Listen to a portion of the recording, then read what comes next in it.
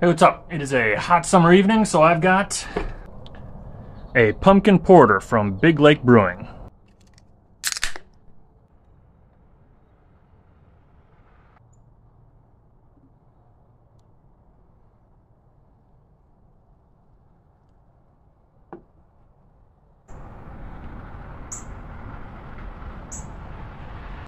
This is what it tastes like when you don't let the bastards grind you down.